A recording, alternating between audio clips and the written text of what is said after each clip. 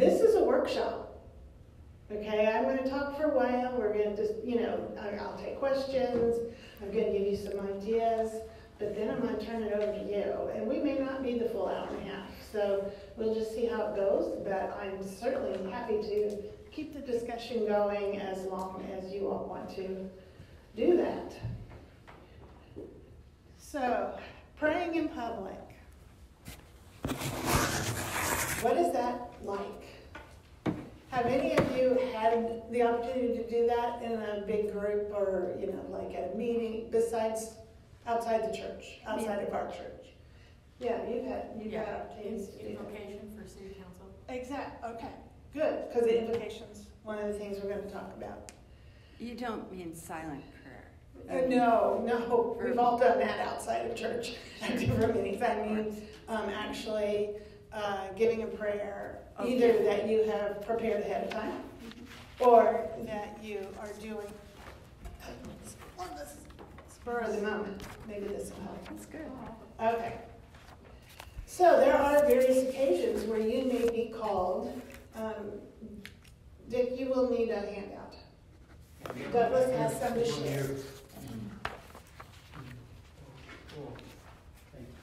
It's, it's just a one pager.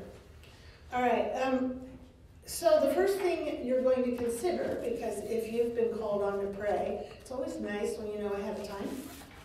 Um, and, you know, I've done this, my husband has done this for a whole career. He's really good at it. I was very shy about doing it until really probably just about a year ago. And then I've gotten more and more practice, and that's all it takes is having an understanding of what's really important and then practicing that. Okay, so well, one of the first questions you'll ask, if you're asked to pray, is what's the occasion? Uh, is it a worship service? Is it a banquet? Is it a luncheon? Is it a family function? Is it just among friends? I mean, you will cater your style, I'm sure, and your message to the group that you're talking about. So the next question you might want to ask is, who are these people that are going to be there, and what would they be comfortable with? Is this a group that you sense is religiously involved? Do are they church people? Do they attend church? Do they have a sense of being religious?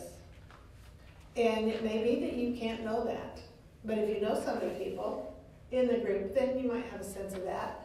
If it's a city council meeting or a you know government type of meeting, you might make the assumption that you might you might make the assumption that um, I will make it very generic.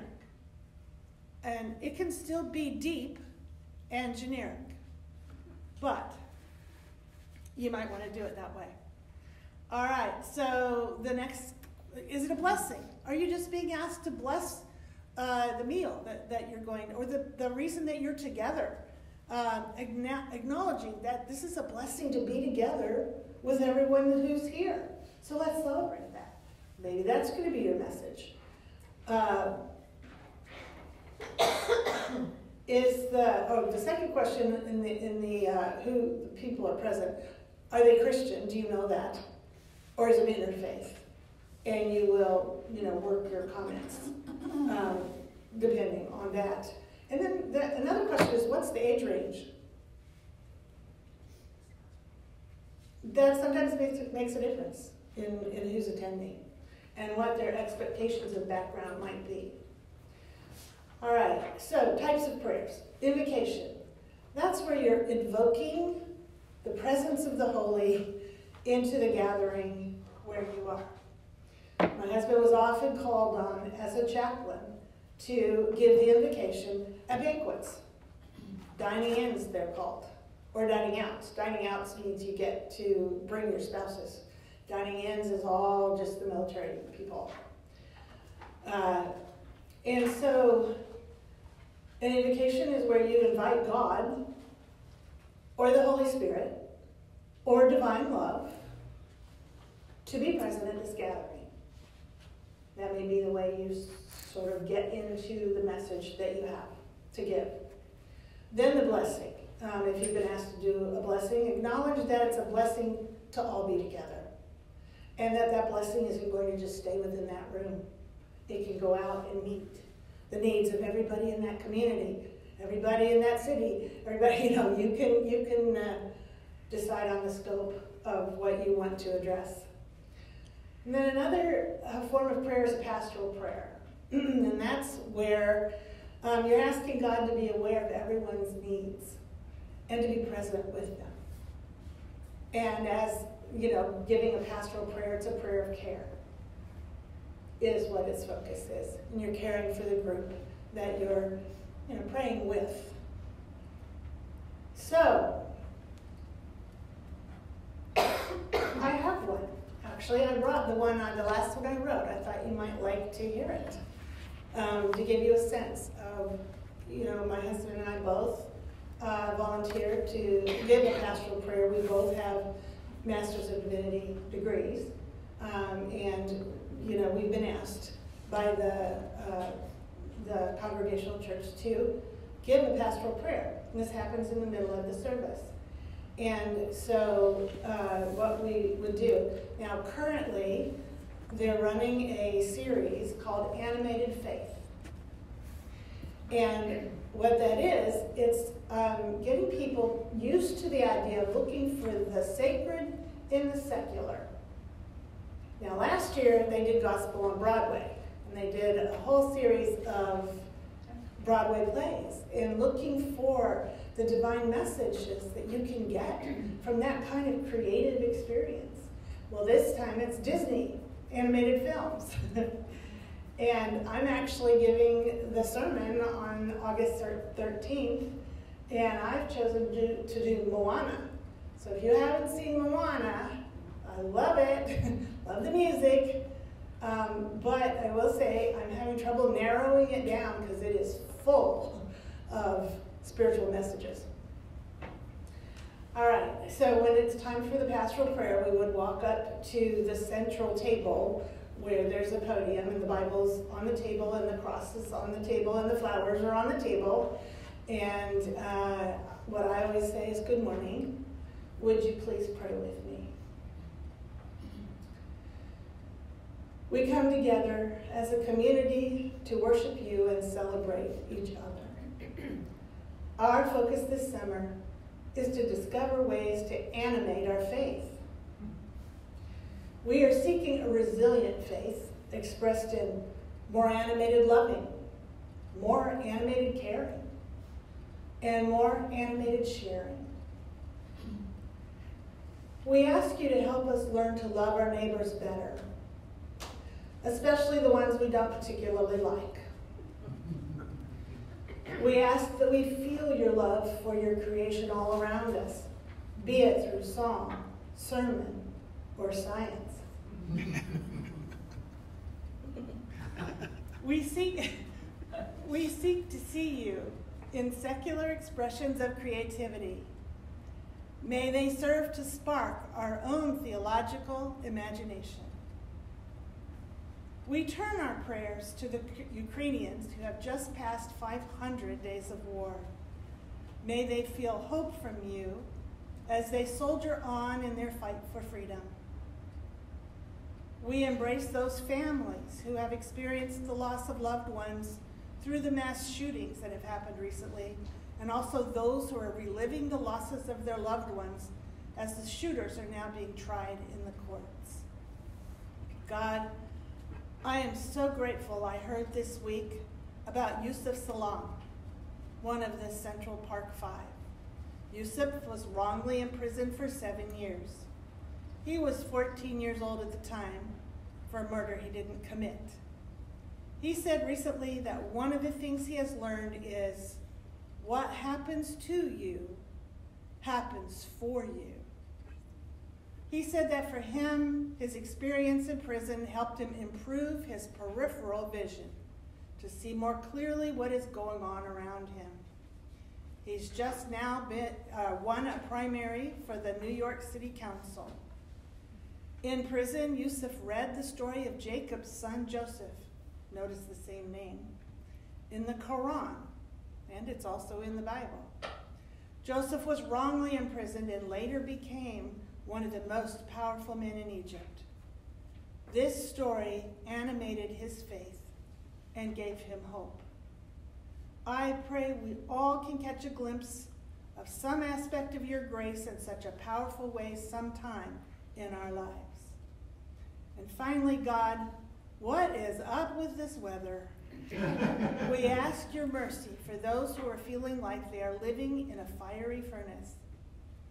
May they find relief from the heat, and may we all wake up and do our part to help repair the damage that has been done to our atmosphere. We ask for guidance for our politicians as we move into the season of re-elections, and ask for guidance or for patience as we are bombarded with opposing views of truth. There are those in our community who have asked for special prayers. Their names will be on the screen. So then they have a rolling screen of names of people in the community who have asked for prayer from the community. So we watch that. And then we end with our Creator, which art in heaven. Hallowed be thy name. Thy kingdom come. Thy will be done on earth as it is in heaven. Give us this day our daily bread, and forgive us our debts as we forgive our debtors. And lead us not into temptation, but deliver us from evil. For thine is the kingdom, and the power, and the glory forever. Amen. Okay, that's a fairly typical. What's that word you're using instead of kingdom? Kindom. Yes. It's spelled What is that? kindom here. Uh, yes, um, I didn't change it there. But in this particular church, the preference is to use the word kindom. Oh, this is the congregation. This is the congregational church, and the idea is that we are siblings in Christ. It is not hierarchical. We are equal in the eyes of Christ. We are all kin. We are all related. So it is a, an intentional um, decision to try and dismantle empire, if you will, um, and colonialism, and you know all of that type of hierarchical power structure. Okay, so um, yeah. So what did you notice in there? Anything in particular stand out to you? Stand right here for a little while. Well, I noticed you used the word animated a lot at Yes. the beginning. I'm not sure I understand what that meaning is. Does that mean brought to life? or- That's a yes, exactly, and that's what animation is. It's it's taking a drawing and bringing it to life. All right. I mean, in that context of those movies. Yeah. But yes, to animate something is to, uh, you know, have it express life, Okay, okay. enliven it. Yes. Seemed like you, you were relating it to the topic, Oh, absolutely. and you might not have Yeah, picked up on that. Could. Yes, I, I related it, and and the week that I did this was the kickoff of the product of, of the theme, and we had two banners. Um, hanging on either side that said animated faith with a graphic uh, symbolism uh, graphic in the middle. And uh, so it was reinforcing what we were going to be talking about. So uh, that was intentional. What else did you notice? Anything? I noticed that you put, uh, that you mentioned um, somebody specifically that had been incarcerated wrongly. Yes. And one of the challenges of, uh, and I weighed whether or not to put that in there, but I know this congregation, and I know that what they hang on is social justice. It's very important to them. And this idea that what happens to you happens for you would hit home with them. But the problem with asking pastors to take to do a pastoral prayer is if they're they'll turn it into a preaching opportunity. You know, it, it just happens, and, and then it gets too long, and that's not the purpose. But it was short, and I knew the message would hit home, Yeah. so I did put it in. Anything else that you noticed, We included, a lot- anybody would feel like they had an identification with the prayer because you had the Ukrainians, you had the climate, you had so many different aspects of prayer that something that was topical was included in the prayer that they might be looking for. Yes, and these people are passionate. Um, they, they often have their particular area that they're passionate about. And so trying to, you know, relate it to all of those was intentional. Anything else that you noticed? You were speaking, I believe, to God on their behalf. Exactly. Yeah. And that's what public prayer is about. It is speaking to God, it is a conversation with God with others listening in. Thank you for catching that. Absolutely. Yeah. I Yeah. was just going to echo that because that, to my experience, is the thing that often seems not as present in the way we we would pray because we would affirm things about God rather than addressing God. And you look at Mrs. Eddy's hymns, Shepherd, show me how to go. And this, this idea of talking to God. The only other thing I was going to say, Jerri, by the way, designed those banners that are hanging Oh. at the front of the church. and um, it's fascinating. This past Sunday, it was the um, the animated film was Pinocchio, and it was fascinating to see what got lifted up, which is also a progressive Christian theme. The song "I've Got No Strings on Me."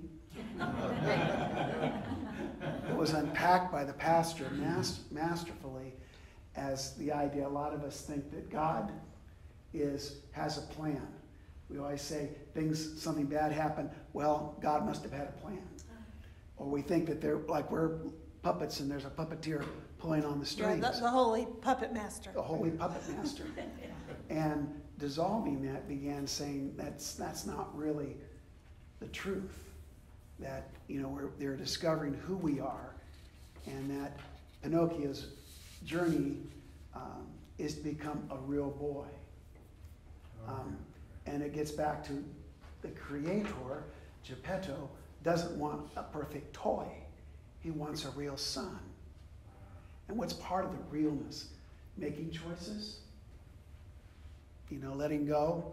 I, I just thought it was a really interesting way of inducing some real theology in it, which is a really, really helpful way to see it talked about. And anyway, I thought Jerri's prayer was excellent. Yeah, thank you. One of the things Yeah, that stood that out for me was your soft landing on when you were praying about the political season, and uh, I think expressed it like our different opinions of the truth. Yes, Yeah, different versions. I- of Yeah, yeah, like. And give us patience to deal with that. That's what we all can do, is have patience because we're presented with things that just infuriate us. It's like, how could you believe that? How could you possibly think that was true? And just because you say it doesn't make it so, you know. And so we could just get really wrapped around the axle for this entire political, you know, series that we're getting ready to move into. And we need patience. We need to have a better perspective. Yeah, so thank you for anything else that you noticed? Song, sermon, or science? Yeah. And your dance. And I did, well, I didn't dance on Yeah, the pulpit. I did, because you all resonated with it. The rest, you know, didn't. He knew where it came from. Yeah. I'm just curious about, you said the number of people that had called in or written in for prayer. Yes, that ask for, yes, they have a, a prayer um, list of people that, that they every week put on the screen. It's on the screen. Uh-huh. They, they have, um, there's a, the, a real pulpit um, off to the side, and then there's a table in the middle, which is kind of like the altar. Uh, and so usually in the first service, which is a little more formal, she, the pastor preaches from the pulpit. Uh, but the prayer and her welcome and all the rest take place in the middle of the room in that at, at the at the table. Um, and why I lost my train of, tra- train of thought. What I did just you say? number, is it different every week or is it the same same uh, number of people or the same people? Oh, on the pair pair list. Um, yeah, it, it's the same people until they ask to be removed or pass on. You know, it's uh, Might just be a relationship problem or whatever. Exactly. They might Yeah. not pass on. no, and then they may say, "Okay, I'm good." You know, one of the interns. We we employ four, uh, three interns from Cal State Fullerton, and I'll tell you, their their music program is off the charts, wonderful. Our director is also from there, um, our music director, and uh, the the talent is is unbelievable. But one of the women had to have knee surgery, so she was on the prayer list for for quite a while while she's still recovering from it. People might be putting on the name of their sister who's having surgery this Mhm. week, or of a child who's just been diagnosed as um, ADD or something like that. You know, you, you make requests for others. And that gets back to what we were it was talked about last week about how you stand witness, about how you're beholding that person. It's what we do in silent prayer, but its names are expressed and people feel counted. They feel seen. And a lot of times they want to they want to feel that. And the one who people care about them want to feel that. And they don't put what's wrong. There's nothing on there but a name. So, I had gone to my mom's church in Prescott, Arizona. This was a number of years ago. I believe it was a congregational church. And um, I think my mom stood up and did some type of prayer for the congregation. It was a very small congregation. And then whoever was doing the service, uh, there was, they read out loud the number of folks who were hoping Mhm. for the prayer of support. mm. So I just thought it was interesting that that's still, not that it's still happening, but wondering in what way it was delivered. Well, and different churches different do it different ways. Both of the services, because the um, 11:15 service is a little less formal, more praise music, more uh, interactive. Uh, sh- the preacher does not preach from the pulpit; they bring the table down to the floor, and she preaches from there. So it's designed to be. Um, this this church is interested in reaching evangelical people who have outgrown the boundaries of their evangelical teachings. And they want a place to land that where they feel welcomed. And so that service is really geared a little bit more to a service that they will feel comfortable in. But a lot of our other people like it too. So um, it, it is, you know, it is working. But for that service, the assistant pastor does the prayer. And uh, while the names are scrolling, he also invites people in the audience who have someone they want to mention or uh, an issue they want to pray for to just speak it out. And that's the way um, UCC churches often will do that. It's different, yeah. Is it appropriate to ask how you all found this church? Uh, yes, um, because I, I looked for UCC churches once before, several years before we moved out here, and I couldn't find one because they didn't call themselves UCC. Uh, they had names attached, and I looked on the website, couldn't find any, any affiliation. So when we actually moved, knew we were moving out here, I Googled progressive Christian um, churches, and IUCC popped right up.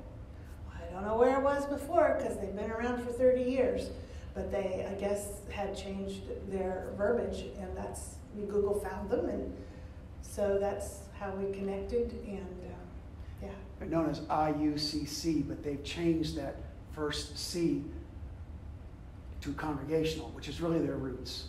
The UCC church is essentially, most, mostly, the old congregational church that Mrs. Eddy belonged to. So it's United Congregational Church. That's part of the UCC denomination. Which is United Churches of Christ? Right. yes. And there are churches of Christ, which tend to be very conservative. Some, one whole branch of them is non-instrumental. Right. which means they don't use any boy their harmonies and voices though are unbelievable so it's lovely but they don't believe in using music their instruments in their services and so they didn't want to be confused So they changed to congregational church, which, We had of distinctive. without music in the Mhm. little community of three hundred and fifty people in Randall, Oklahoma, and they could sing. oh, it's Uh, Fabulous. amazing, yes, yeah. But the theology's pretty cut and dry. Yeah, Fanny. Jerri, um, the difference between your prayer and the way Christian science scientists typically pray was it focused more on requesting, would that be accurate? Whereas mainly, I think our prayers are affirmation. Yes, Is they are largely. Yes, we are very, we are very comfortable. for us. Yeah, yeah. So, um, yes, but it makes it more um, inviting for others. Mhm. That, that, that have, that resonates with what's in their hearts often. Yeah, I Because they're that. thinking about Ukraine. They're thinking about the weather. How can you not be thinking about this weather? I mean, how? Uh, yeah. So I we always try and include some. Uh, and and when I gave this, it was a time when these poor parents of these kids in Idaho who had been slaughtered were having to face this guy in court. And then there was another. I don't remember which court cases. A couple of them going on at the same time. So these parents are having to be in that arena again and again. And so I wanted to acknowledge that. So, Well. But as you've mentioned numerous times, and even the Lord's Prayer, it has, it has petitions. in it has in it, yes. Every single one of Yes. the Lord's Prayer. Yes. Give us this day our daily bread. And if you listen to what we talked about last week, um, the last little finger I, I put in was petition. And my, I, that is a much stronger piece or type of prayer than we have tended to acknowledge it as being. Um, and one of the reasons is because articulating what we think we want opens us up to sort of realizing, um, yeah, you know, maybe that's not what I really want. Maybe I'm really needing this. But actually articulating it is taking some kind of an action with it. And then we can pivot if we need to. Or maybe that's what we really want. Or maybe we're asking for the Mercedes when we really need a Volkswagen, you know? So it's, That's usually the case. so, you know, there's that. For me, one way it's been helpful for me with it is, do you remember the old SLR cameras where you had to open Yeah. the aperture? Yep. Yeah. I, I don't think we're trying to convince God to do something. I think every word we say is like opening an aperture on our hearts Mm-hmm. so we're more ready to receive God's goodness. And I think petitionary prayer can really do that in a, in a beautiful way, especially when you feel people, a group of people doing it together and they feel in common cause. That's been my experience. Mm-hmm. And I would concur with that, yeah. There's groups that use the I am for affirmations. I am is the name of God. Mm-hmm. I am the way. Mhm. I am the truth. I am the life. And then it goes on and on. You can create your own I ams if Yes. you like. But I like that because there's a oneness with the person who's giving the prayer and God. Mm-hmm. And that's our goal anyway, Mm-hmm. to experience that oneness and make that connection very clearly through an affirmation. Mm-hmm. So I think that's a very effective way to pray.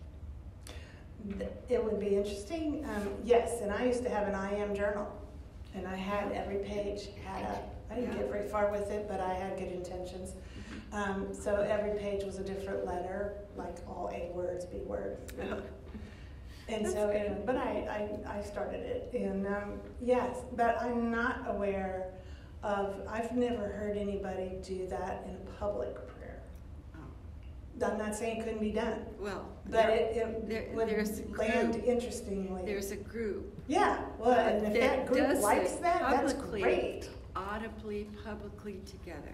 Good, wonderful. I think Love that's it. effective. I, it yes, As a obviously. community, what a way to bond the community. Yeah, love it. Okay, thank you. Um, so, a few more things to consider. And this is what I, I feel like I'm kind of throwing a lot at you, but uh, it's important that we you become aware of some of these things, and then you're going to have a chance to do your thing with it. All right. So, one of the things to consider is how biblically literate is the group you're talking to. And you cannot make the assumption that the public is biblically literate. You just can't. It's not taught in schools unless you go to a private school, possibly. Uh, so if you try to use scripture as authority, people who don't know those stories won't see the authority.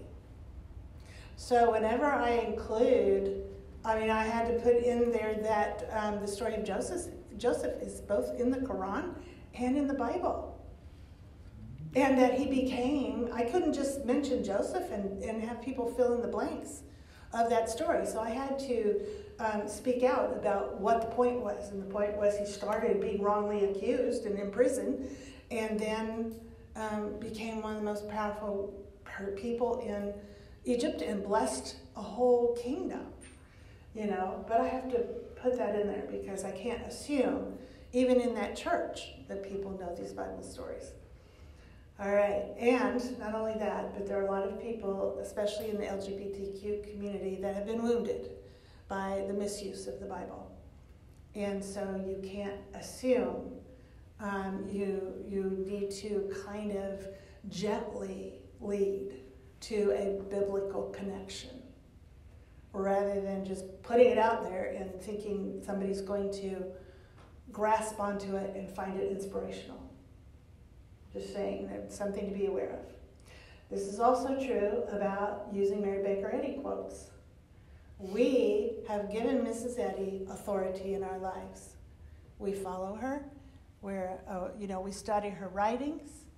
We, um, we have given her a sense of authority in our lives. But just throwing out a quote in a group is not going to carry that same authority. So be aware of that. Uh, it doesn't mean you can't quote Mary Baker Eddy in other uh, settings. My favorite term is Mary Baker Eddy, a 19th century theologian that I follow. That gives her my, you know, endorsement, and this is what she says. But I let what she says be the authority in the quote. I don't throw it out there as though the fact I'm quoting her carries extra weight. Does that make sense? Sure. Okay. All right, good. So, and honestly, we do that with each other, often without really unpacking what she's getting at. So, that's something we should be working on with all of us, you know, making sure that we're really, um, if, if possible, uh, using our own words to um, explain our inspiration about what Mrs. Eddy has said instead of just using her words. Yes. When you use that phrase through song, sermon, or science, does your congregation know what that science refers to? No, Oh, okay. no, they had no way of knowing. But there are a number of those people who are more oriented to science with a small s than they are. Uh, The song or sermon. Well, right, eh, religion. You know, they're more they're more science. Or this is a very highly educated group of people in Irvine, and um, and so a lot of them are very invested in science, and so I knew that would work in that setting, even though they didn't know it was a capital S. but it had a nice alliteration. That's what I liked, so I used it. I was going to make one reference to when Jerri talked about referring to Mrs. Eddy. Sometimes Christian scientists have been shocked when Christian science authors, particularly about the academic or scholarly history, just call her Eddy. Feel like that's not respectful. Until you listen, Lutherans don't refer, refer to um, Reverend King, or rather Reverend Luther. They don't talk about uh, Dr. Wesley. They just call him Wesley. They just call him Luther. So when we do something different, there begins part of the thing that we think Mrs. Eddy is equal to Jesus. That somehow we've treated her differently than others would treat an academic or an authority. And I, I just want to let you know it isn't necessarily because they dissed Mrs. Eddy, but because that's the way that they're talked to by in, in scholarly writing. So they don't want their stuff tossed out because then they, then they begin thinking, geez, that person keeps calling this person Mrs. Eddy. Uh, they must be deferring to her and being her mouthpiece and being prejudiced to her and not treating her independently. Well, just, just like, you know, we don't say Dr. Albert Einstein, we just say Einstein. Einstein, exactly. And then more Yeah. people are gonna now be saying Oppenheimer instead of J. Robert Oppenheimer, Mhm. so. That's right. David, David had his, David has his hand up. Yeah, I did, but I think I'll drop it. Oh, okay. Is there a way to quote Mary Baker Eddy without saying you're quoting Mary Baker Eddy? Because that's what I would rather do, is just say that sentence or thought, rather than making it this person said. Because then you're giving some other quality than God and man. And that's, it's just a feeling. Yeah, I, I, um, I, that's interesting, David, and I, and I can resonate with what you're saying. It depends on where you're talking. If you're, if you're presenting someone else's words as your own, that's not usually considered ethical. However, if in just talking to someone and you want to borrow that phrase, then I would say go for it. And if they ask, "Oh, that's interesting. Where did you find? You know, did, did you, is that your idea?" Then you can go further, if that makes sense.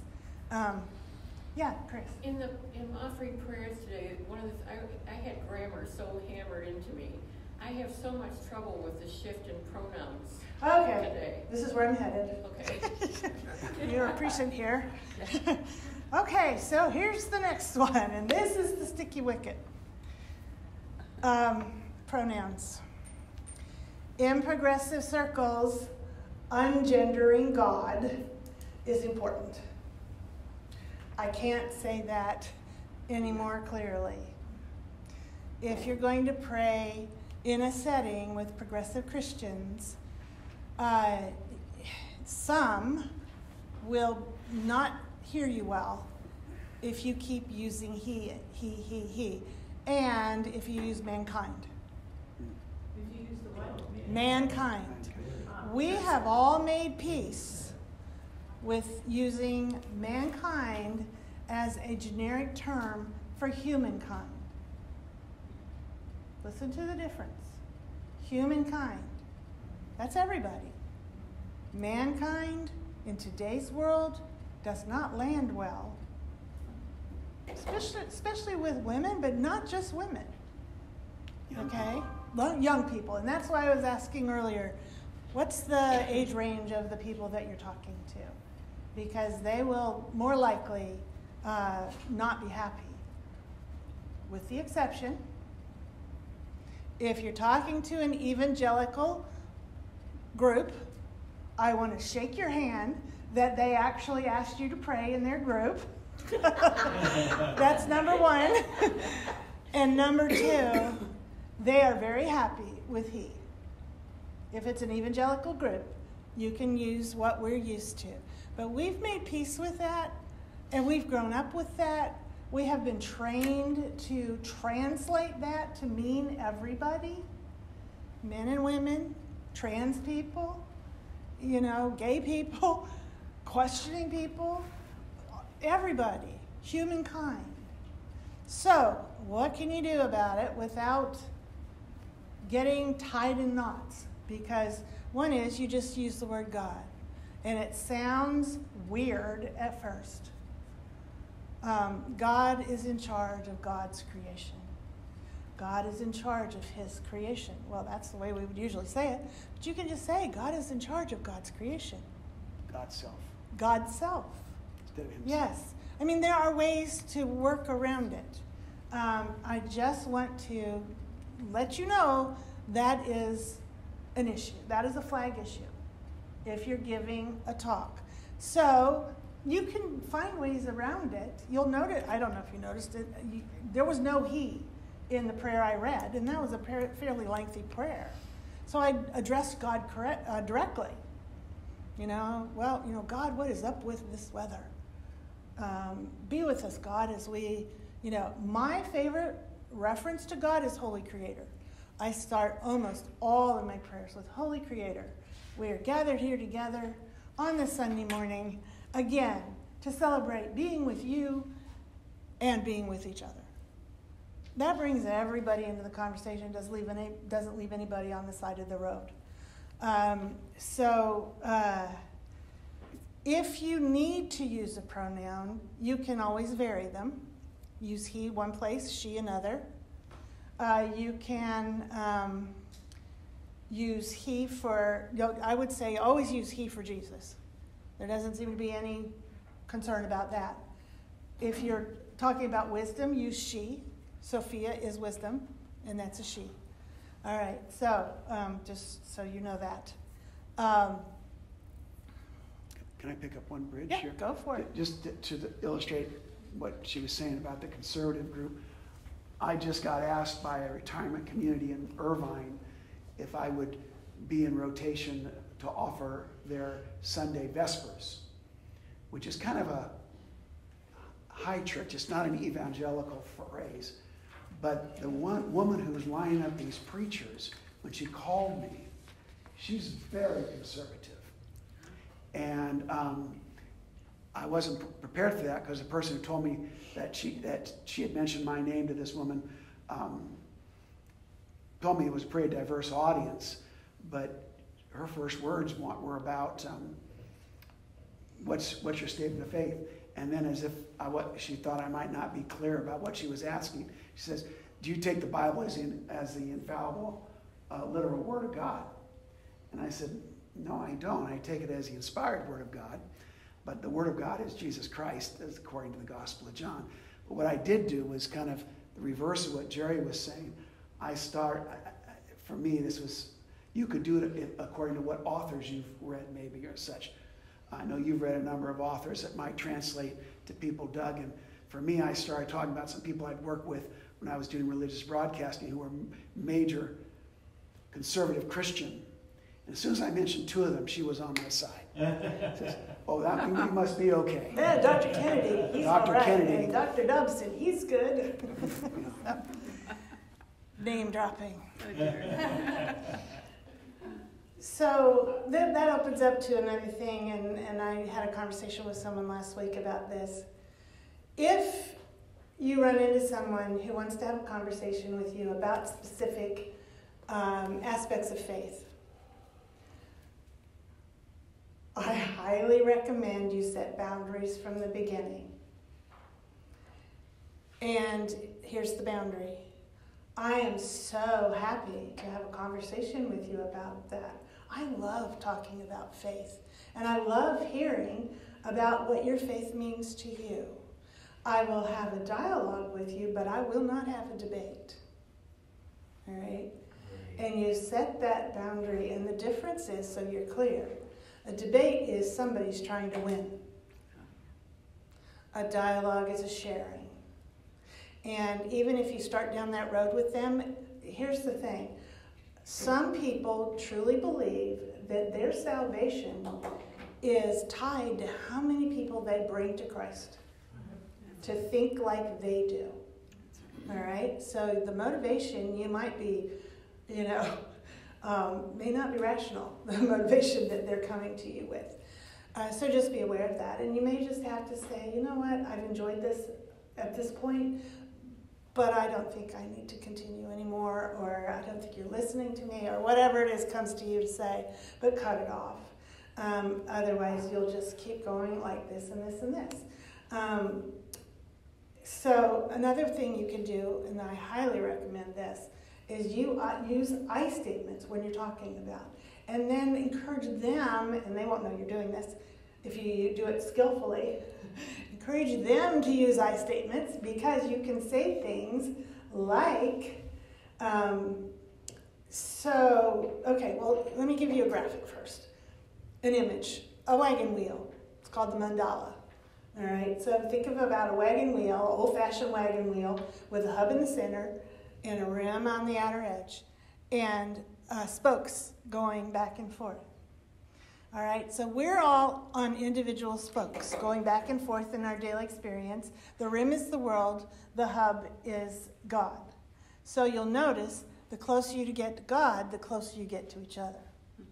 The more you talk about the reading room drape color and the carpet, the more you're talking about the worldly things, the further you get from each other. All right? So keep your, your conversation centered more in the center of the hub. So if they say something like, um, you know, being saved, when, when, I, when I accepted Jesus, my whole life changed. And I pray every day and so I could ask uh, that person a question like, So, how does your prayer help you feel closer to God? Explain that to me. You know, let, you know, and then you can pick up on some bridge that you might be able to build. Or you could say something like, I can hear how important it is to you that, um, that this is the blood of Jesus. I, you've mentioned that several times. Tell me what that does for you in, in helping you build your faith. And then listen and let them talk. And they may not be at all interested in what you have to say, but you know, we can learn and we need to be willing to learn from other people. You will run into people with great faith who you would never suspect. And if you don't sit and listen to them, you'll never you'll never have that encounter. Okay, so we need to get away from this idea that the whole world is supposed to come to us. Yeah, there needs to be mutuality. One thing I will say is that I've heard this from a number of people at the church. They'll come up to us individually after he prays or uh, or after I pray, and sometimes after he prays, they'll come to me and they'll say, I just love listening to your husband and you when you give the prayer because you believe what you're saying. and I feel that, you know. So, yeah, being authentic about what you're praying in a situation, the heart will speak. And those who have hearts will listen, okay? I know you've heard that before. All right, so how do you begin a prayer? How do you begin to write a prayer? Well, I'm just giving you lots of things, all the minefield, to, to be careful about. And I think I told you the first week. Um, we actually invited my, our, our, Brentwood Christian Science Church in St. Louis, uh, invited one of the professors that I had. Uh, he was the guy in charge of the chapel worship. Wonderful guy, played the guitar, loved him. Uh, and we invited him to come and give us a workshop on how to pray out loud because we hadn't, you know, we didn't know how to do that. And so um, he was very happy to come and do that. It was great. Uh, and he's the one that gave me the little format that we're going to use later. But um, he said, Well, you just stand up there and you look at them and you say, Oh my God. and you're off and running. and you know, there's, there's wisdom in that. Because once you get started, if you're used to having conversations with God, you can do this. You can do this, and you can pause to collect your thoughts. You don't have to give a polished prayer. If you have some warning and you can prepare a, a prayer ahead of time, great. But you can also just include, go into your closet, if you will. And I did actually bring this from Matthew. And when thou prayest, thou shalt not be the, as the hypocrites are, for they love to pray standing in the synagogues and the corners of the street. This is the key part. This is the where they get off track, that they may be seen of men. Verily I say unto you, they have their reward. But thou, when thou prayest, enter into thy closet, and when you have shut the door, pray to the Father which is in secret, and thy Father which seeth in secret shall reward thee openly. But when you pray, use not vain repetitions, as the heathen do, for they think that they shall be heard for their much speaking. It's not the words, it's the heart. Go into your closet. And if you don't do this at home, I recommend trying it. Talk out. My first healing as an adult, I was fresh out of college, happened because I actually talked out loud to God for the very first time. I was rolling around, he was gone. I was rolling around on the floor in pain, and I thought, what am I going to do? And I realized if he was there, I would just talk to him. So I thought, okay, I've been in Sunday school forever.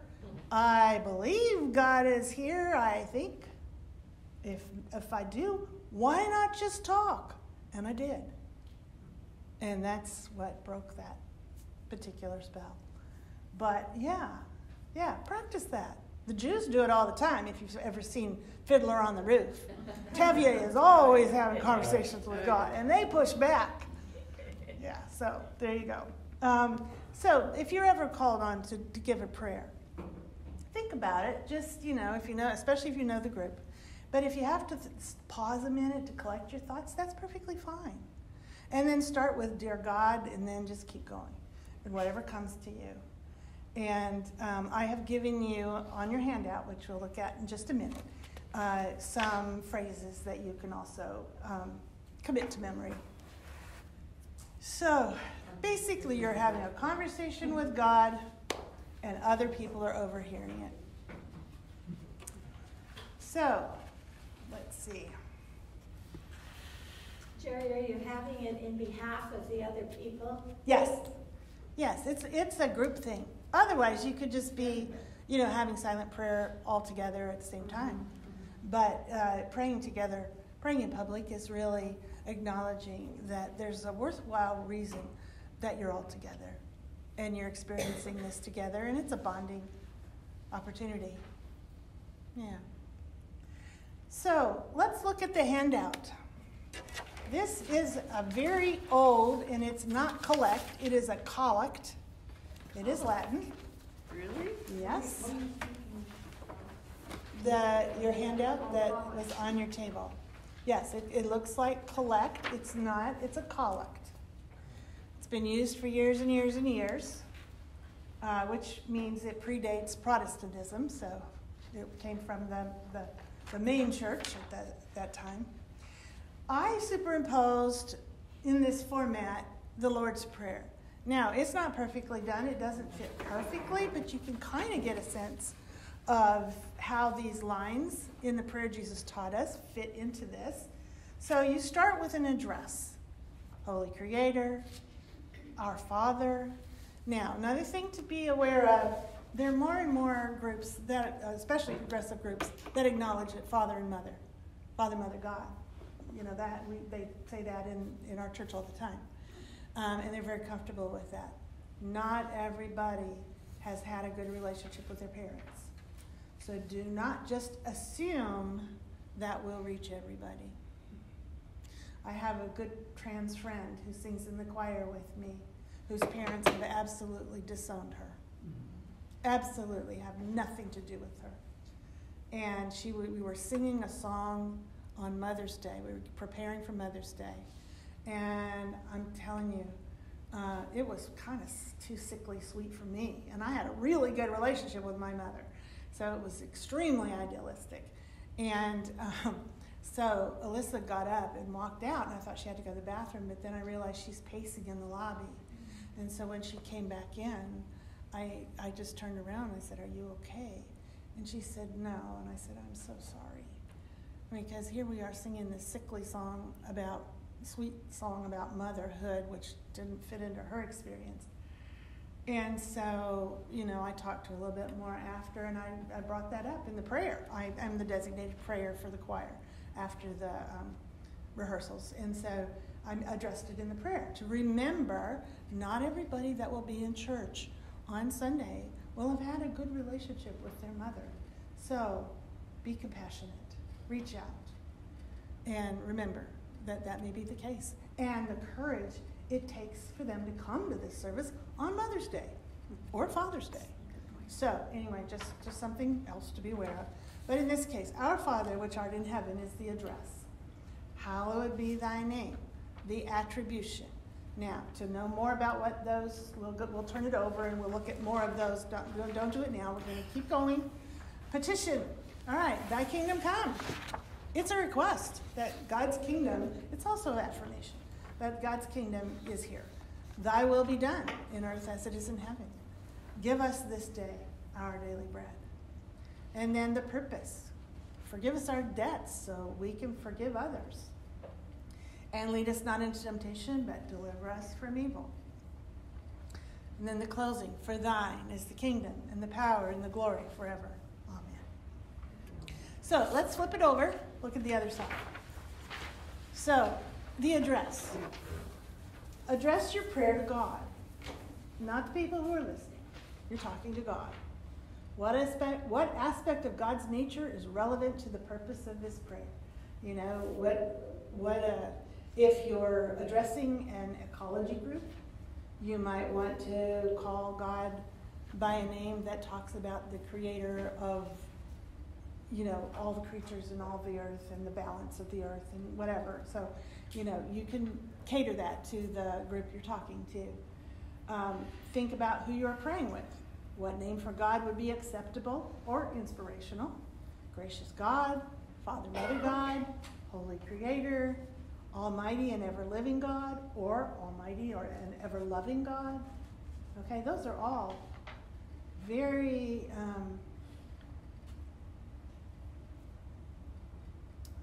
acceptable or, or inclusive um, and slightly different ways of addressing God. So, those are just some suggestions to get you thinking because you could come up with your own. So, attribution. Sometimes the attribution is based on scripture or phrases that emphasize, some, emphasize something God does. The giver of all good. So, Holy Creator, the giver of all good, you cover us with your wings. This is the attribution. The petition. What are you asking for? Is it a grace? Is it before a meeting? Bless us today as we partake of this lovingly prepared feast.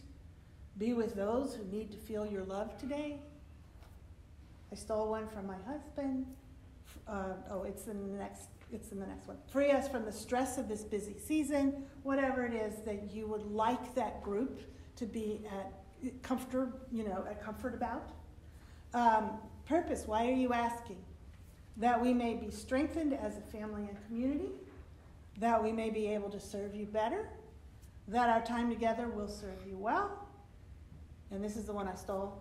Bless this food and the time we spend together that we may be nourished by both. He often will give that, you know, when the family's all around, we're waiting, you know, getting ready to sit down to dinner. And then the closing, we ask this through Christ. We ask this in the name of Jesus. I think he talked about when he used to do his performance reports in the Air Force, they often, the commanding officer would have you fill out your own performance report or if you were requesting something, you would you would fill it out and then take it to that person for approval. So whatever you asked for needed to be consistent with what that commander would approve of. So that's one way you can think about this in the name of Jesus. Is like it's it's, it's saying you know Jesus would approve of what we're asking for here. Okay, and that's a very familiar one. People will, if it's a Christian group um, they would uh, they would be comfortable with that through the authority of your divine love. That works. In your name we pray. That's often what I'll use on Thursday nights at choir. In your name we pray these things. All right, so here's your assignment, should you choose to accept it.